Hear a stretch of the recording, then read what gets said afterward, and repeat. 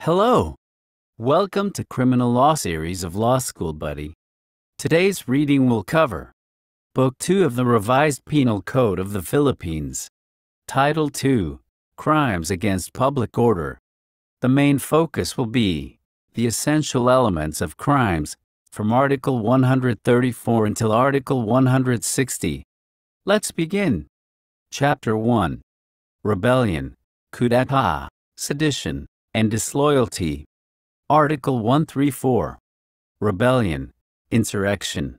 The essential elements are 1. That there be public uprising and taking up of arms against the government. 2.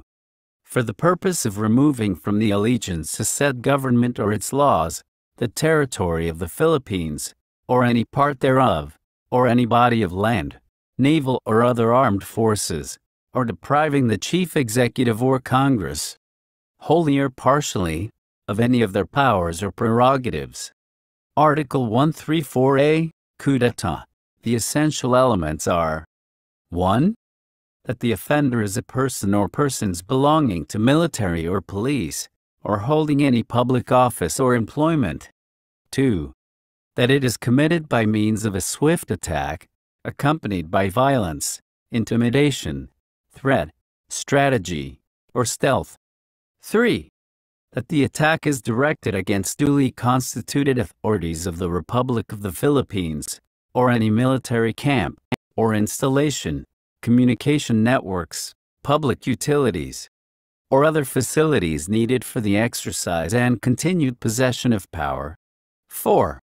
That the purpose of the attack is to seize or diminish state power. Article 135 Penalty for rebellion or insurrection or coup d'etat. Persons liable for rebellion, insurrection, and or coup d'etat are 1. The leaders, any person who promotes, maintains, or heads a rebellion or insurrection, or any person who leads, directs, or commands others to undertake a coup d'etat. 2. The participants, any person who participates, or executes the commands of others in rebellion or insurrection. 3. Any person in the government service who participates or executes directions or commands of others in undertaking a coup d'etat. 4. Any person not in the government service who participates, supports, finances, abets, or aids in undertaking a coup d'etat. Article 136 conspiracy and proposal to commit rebellion, insurrection, or coup d'etat. Punishable acts are 1. Conspiracy to commit rebellion, when two or more persons come to an agreement to rise publicly and take arms against the government for any of the purposes of rebellion and decide to commit it. 2. Proposal to commit rebellion, when the person who has decided to rise publicly and take arms against the government for any of the purposes of rebellion, proposes its execution to some other person or persons. Article 137 Disloyalty of public officers' employees. Punishable acts are 1. Failing to resist the rebellion by all means in their power. 2. Continuing to discharge the duties of their office under the control of the rebels. 3 accepting appointment to office under the rebels. Article 138. Inciting to rebellion insurrection. The essential elements are 1. That the offender does not take up arms, or is not in open hostility against the government. 2. That he incites others to the execution of any of the acts of rebellion. 3. That the inciting is done by means of speeches, proclamations, writings, emblems, banners, or other representations tending to the same end. Article 139 Sedition. The essential elements are 1. That the offenders rise publicly and tumultuously. 2. That they employ force, intimidation, or other means outside of legal methods. 3. That the offenders employ any of those means to attain any of the following objects a. To prevent the promulgation or execution of any law, or the holding of any popular election.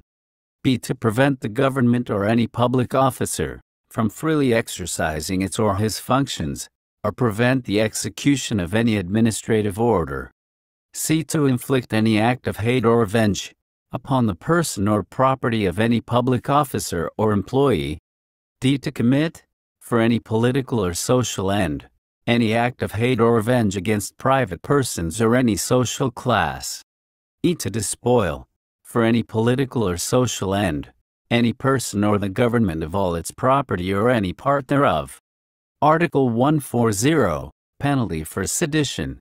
Persons liable are 1. The leader of the sedition. 2. Other persons in the participating sedition. Article 141 Conspiracy to commit sedition. Only conspiracy to commit sedition is punishable and not to commit proposal sedition. There must be an agreement, both to attain an object of sedition and to rise publicly and tumultuously. Article 142 Inciting to sedition. Punishable acts are 1. Inciting others to commit sedition by means of speeches, proclamations, writings, emblems, cartoons, banners, or other representations tending to the same end. 2. Uttering seditious words or speeches which tend to disturb the public peace. 3.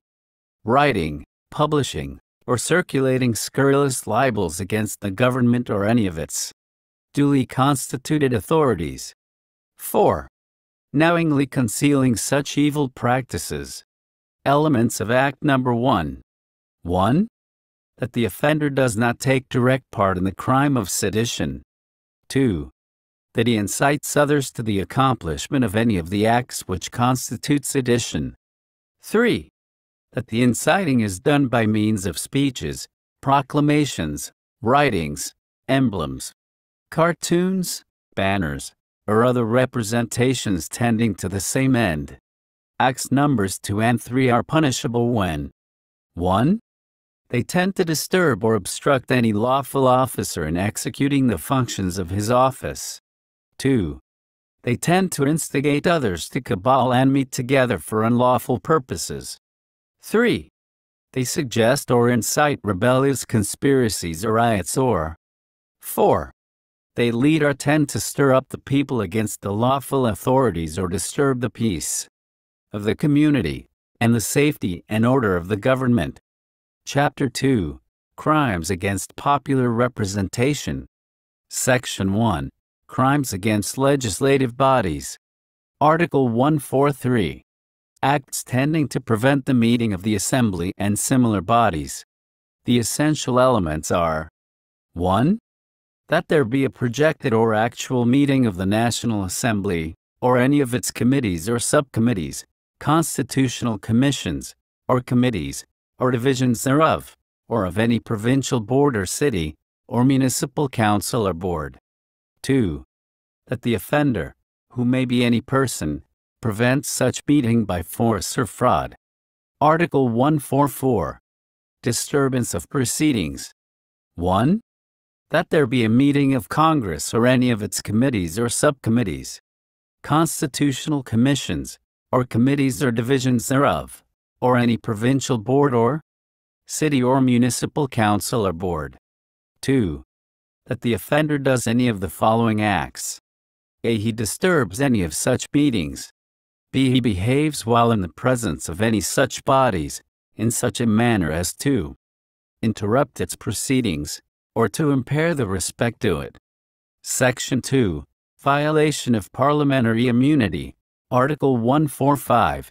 Violation of Parliamentary Immunity. Punishable acts are 1.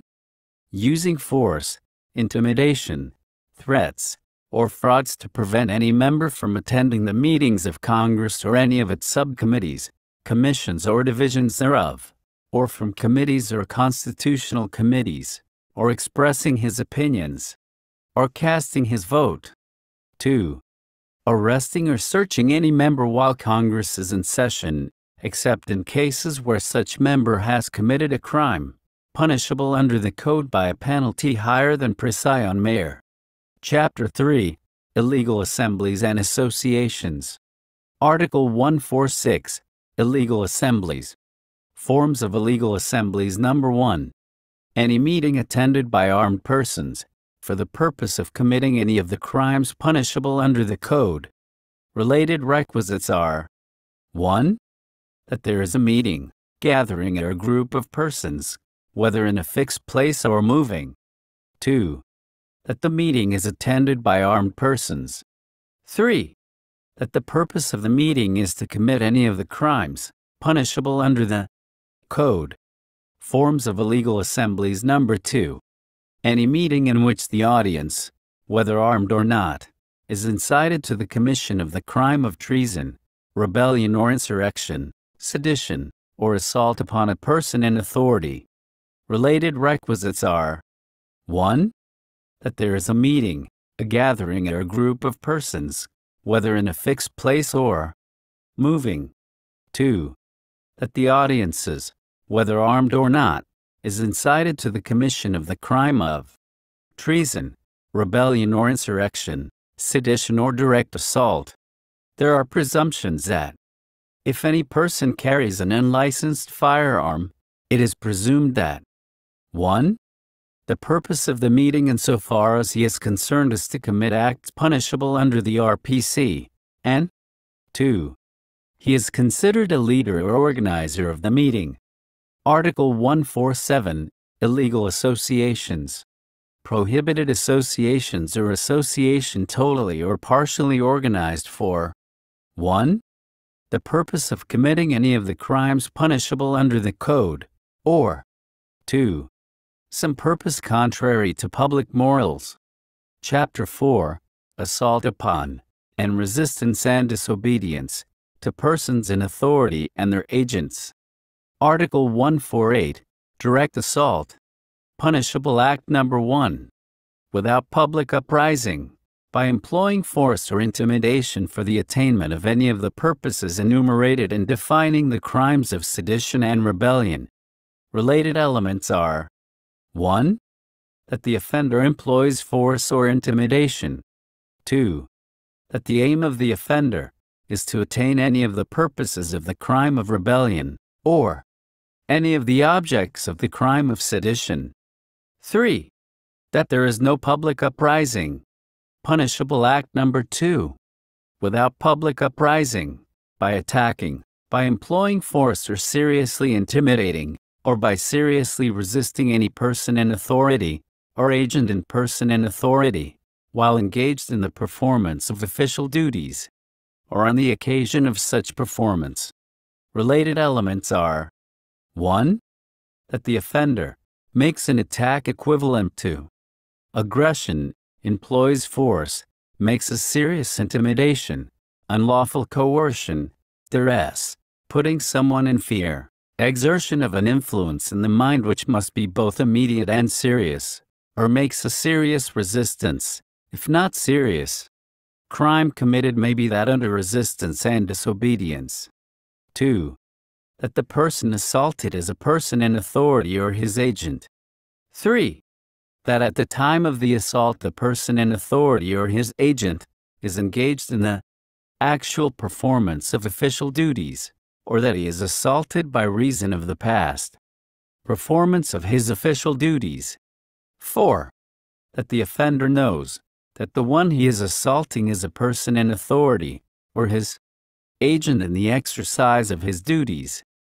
5. That there is no public uprising. Article 149 Indirect Assault. The essential elements are 1. That a person in authority, or an agent of person in authority, is the victim of any of the forms of direct assault defined in Article 148. 2. That a person comes to the aid of the agent of person in authority. 3 that the offender makes use of force or intimidation upon such person coming to the aid of the agent of person in authority. Article 150. Disobedience to summons issued by the National Assembly, its committees or subcommittees, by the Constitutional Commission, its committees, subcommittee or divisions. Punishable acts are 1. Refusing, without legal excuse, to obey summons of Congress, or any commission or committee chairman or member authorized to summon witnesses. 2. Refusing to be sworn or placed under affirmation while before such legislative or constitutional body or official. 3. Refusing to answer any legal inquiry or to produce any books, papers, documents, or records in his possession, when required by them to do so in the exercise of their functions. 4. Restraining another from attending as a witness in such legislative or constitutional body. 5. Inducing disobedience to summons or refusal to be sworn by any such body or official. Article 151. Resistance and disobedience to a person in authority, or the agents of such person. Elements of resistance and serious disobedience. 1. That a person in authority or agent of person in authority is engaged in the performance of official duty or gives a lawful order to the offender. 2. That the offender resists or seriously disobeys such person in authority or his agent. 3 that the act of the offender is not included in the provisions of Articles 148 until 150. Elements of simple disobedience. 1. That an agent of person in authority is engaged in the performance of official duty, or gives a lawful order to the offender. 2. That the offender disobeys such agent of person in authority. 3. That such disobedience is not of a serious nature. Article 152 Persons in Authority and Agents of Persons in Authority. Person in Authority Any person directly vested with jurisdiction, whether as an individual or as a member of some court or governmental corporation, board, or commission, shall be deemed a person in authority. A barrio captain and a barangay chairman shall also be deemed a person in authority. Agent of person in authority a person who, by direct provision of law or by election or by appointment by competent authority, is charged with the maintenance of public order and the protection and security of life and property, such as a barrio councilman, barrio policeman and barangay leader and any person who comes to the aid of persons in authority, shall be deemed an agent of a person in authority. In applying the provisions of Articles 148 and 151 of this Code, teachers, professors, and persons charged with the supervision of public or duly recognized private schools, colleges, and universities, and lawyers in the actual performance of their professional duties or on the occasion of such performance, shall be deemed persons in authority. Chapter 5 Public Disorder Article 153 tumults and other disturbances of public order. Punishable acts are 1. Causing any serious disturbance in a public place, office, or establishment. 2. Interrupting or disturbing public performances, functions, or gatherings, or peaceful meetings, if the act is not included in Articles 131 and 132. 3 making an outcry tending to incite rebellion or sedition in any meeting, association, or public place. 4. Displaying placards or emblems which provoke a disturbance of public order in such place. 5. Burying with pomp the body of a person who has been legally executed. Article 154 Unlawful use of means of publication and unlawful utterances. Punishable acts are 1. Publishing or causing to be published as news any false news which may endanger the public order or cause damage to the interest or credit of the state. 2. Encouraging disobedience to the law or to the constituted authorities, or by praising, justifying, or extolling any act punished by law, by the same means or by words, utterances, or speeches, 3. Maliciously publishing or causing to be published any official resolution or document without authority or before they have been published officially. 4. Printing, publishing or distributing or causing the same books, pamphlets, periodicals, or leaflets which do not bear the real printer's name, or which are classified as anonymous. Article 155 Alarms and scandals. Punishable acts are 1. Discharging any firearm, rocket, firecracker, or other explosive within any town or public place, which produces alarm or danger. 2. Instigating or taking an active part in any charivari or other disorderly meeting offensive to another or prejudicial to public tranquility. 3. Disturbing the public peace while wandering about at night, or while engaged in any other nocturnal amusements. 4 causing any disturbance or scandal in public places, while intoxicated or otherwise, provided Article 153 is not applicable. Article 156 Delivery of prisoners from jail. The essential elements are 1.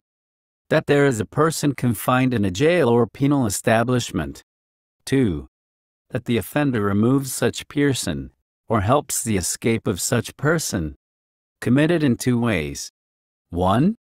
By removing a prisoner confined in jail or penal institution, to take away a person from confinement, with or without the active participation of the person released. 2. By helping said person to escape, furnish material means to facilitate escape. Chapter 6 Evasion of Service of Sentence. Article 157 Evasion of service of sentence. 1. That the offender is a convict by final judgment. 2. That he is serving his sentence, which consists in deprivation of liberty. 3. That he evades the service of his sentence by escaping during the term of his sentence. Circumstances qualifying the offense. 1. By means of unlawful entry by scaling. 2 by breaking doors, windows, gates, walls, roofs or floors. 3. By using picklocks, false keys, disguise, deceit, violence, or intimidation. 4. Through connivance with other convicts or employees of the penal institution. Article 158. Evasion of sentence on the occasion of disorders, conflagrations, earthquakes, or other calamities. The essential elements are 1.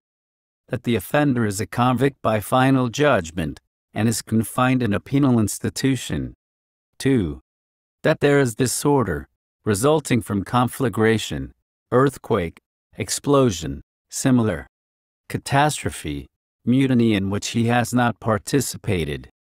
3. That the offender leaves the penal institution where he is confined on the occasion of such disorder ordering the mutiny. 4. That the offender fails to give himself up to the authorities within 48 hours following the issuance of a proclamation by the chief executive announcing the passing away of such calamity. Article 159 Other cases of evasion of sentence conditional pardon. The essential elements are 1 that the offender was a convict. 2. That he was granted a conditional pardon by the chief executive. 3. That he violated any of the conditions of such pardon. Forms of evasion of service of sentence. 1. By simply leaving or escaping from the penal establishment under Article 157. 2. Failure to return within 48 hours after having left the penal establishment because of a calamity, conflagration, or mutiny, and such calamity, conflagration or mutiny has been announced as already passed under Article 158. 3. Violating the condition of conditional pardon under Article 159. Chapter 7. Article 160 Commission of another crime during the service of penalty imposed for another previous offense. Quasi-recidivism. 1. That the offender was already convicted by final judgment.